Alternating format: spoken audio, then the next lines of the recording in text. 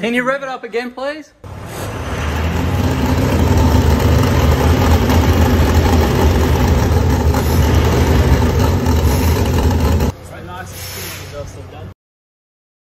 So we've just got our 300 series here. We've just developed the exhaust system on it. It's been up and down from the air. We've got it all jigged up. We've got a couple of different combinations for you. What I'm going to do is get Chriso to give us a rev right now. Now this is the DPF. Hang on a sec. Do it again.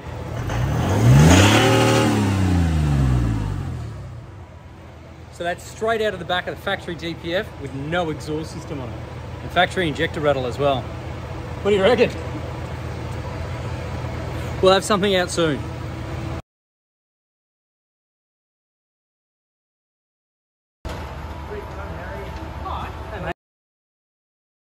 So really exciting. Uh, Grayson's just come and grabbed me and he said, Paul, you've got to come out and have a look at it. He's just jigged up and, and finished the three and a half inch stainless steel DPF back exhaust for our 300 series Land Cruiser. So I'm going to pop up some, some shots of it back to back. It's all TIG welded um, in stainless steel. Made here, obviously, which is an Australian made product with all um, correct mounting brackets and, and, positions and things like that. So, so have a look and I'll, um, yeah, we'll go have a look at it. Be good? I can even push you on the scooter. You could push me on the scooter. I reckon we need to lay this one out next to the factory exhaust so we can see the difference underneath. Maybe here for a clean shot, then we put it under the car.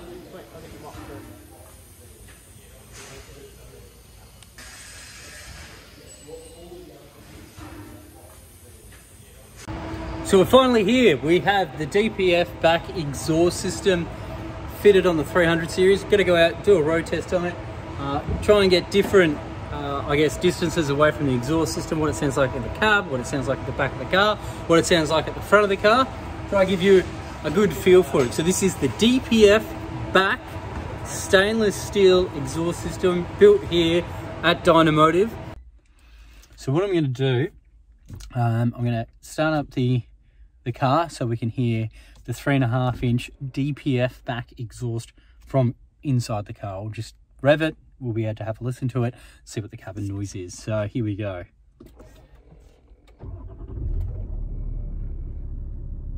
Sounds like a turbo diesel starting. All right. Turn the radio off and let's give it a bit of a rev. I still got that injector rattle.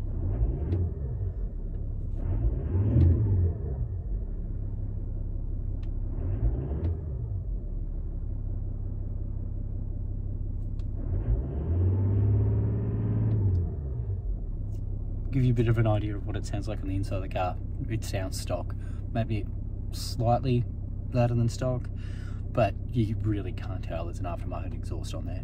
Do you go about doing this? Yeah, well, from start to finish. The car in, we pulled the old exhaust off and we pulled the old springs out, which yep. allowed the car to be at full droop as to when you're going over rocks and whatnot, that the exhaust isn't going to foul the suspension thing. So we had so, to... Yeah, yeah. We pulled the springs out. Springs out. Yep. Exhaust down, so we got ample clearance up there. Yep. Then we quite simply started at the front. We yep. got a, a laser cut flange custom made that's bolted straight up to the factory Toyota system. We made the front part without a flex first, which kept our rear nice and square so it doesn't hit anything.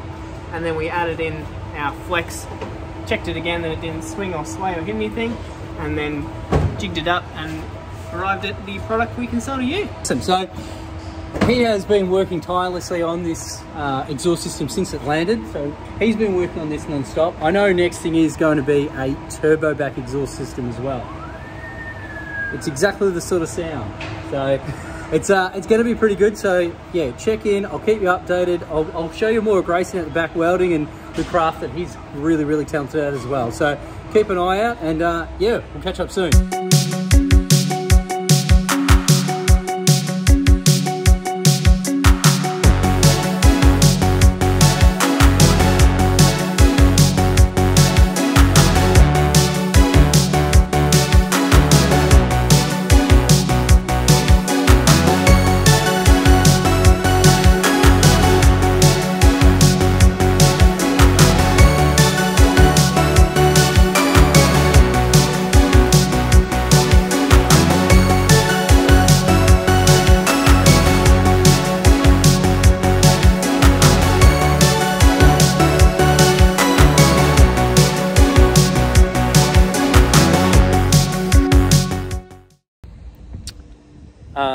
Welcome to video three.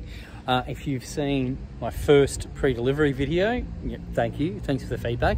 If you've seen my second video, which was first road test, completely stock, thank you very much. What I wanted to do with this video uh, on the 300 series was show off our exhaust system. Because as soon as we got this car in, we um, basically set it up straight away on the hoist, moved the factory system, and um, got it jigged up to get our stainless steel three and a half inch exhaust system built.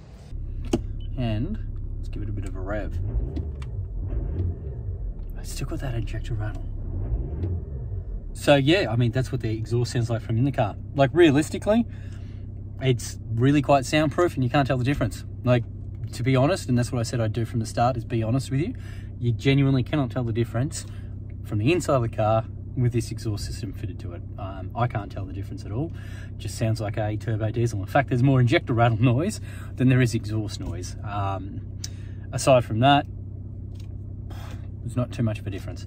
What I'm going to do is get someone else out in the driver's seat. I'll go to the back of the car, we'll rev it up, and we'll have a listen, see what it sounds like. So I got Chris out here. He's going to be giving it a rev up for me. Go to the back serious injector rattle right there. the, the injectors are no the injectors are noisier than the exhaust. So Chris is out here. He's going to rev it up for me. I'm going to go to the back of the car. We'll have a listen to it, see if it's any louder at the back.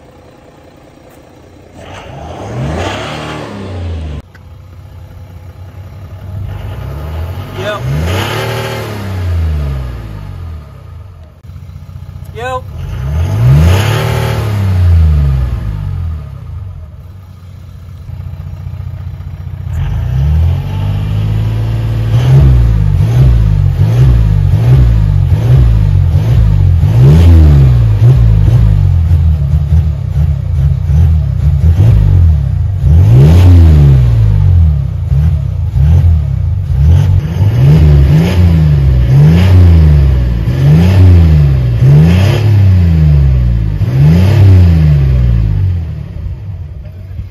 No, that's sick. So there you have it. So that's a three and a half inch stain. So there you have it. That's a three and a half inch stainless steel DPF back exhaust built at Dynomotive, tested on the dyno. I'll be doing another video with the results before, after, what the improvements were as well. Thanks for watching. Um, we'll have everything available soon.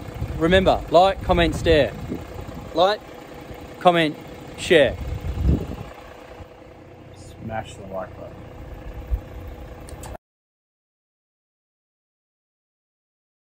So there you have it. Obviously that's at static, that's not doing any drive-bys or anything like that. Gives you a bit of an idea about the exhaust system. We're gonna have it online um, and for sale. Very, very. Another thing about this interior that I didn't notice when I first had a look, there's cup holder here. So driver's side cup holder, remove that. It's like a little secret hidey hole. Obviously it's to put bigger cups in, but you can definitely stash a lot of coinage in there. Well done, Toyota. Hey man, Oh, there you go. How are we? we're just getting the, what are they, the hero shots? The hero shots for this one, yeah. Oh, so, it's gonna be good. the uh, final bits to this story for the season? Oh, it's gonna be good. And you know what we're doing with this one and the Y62, as Rob told you, yeah? I've not been told yet. Oh, this is gonna be pretty special. Keep an eye out. Can you just go out the back and just film from the left-hand side, looking across so you can see the muffler and everything, and just kind of work. Uh, how do I film?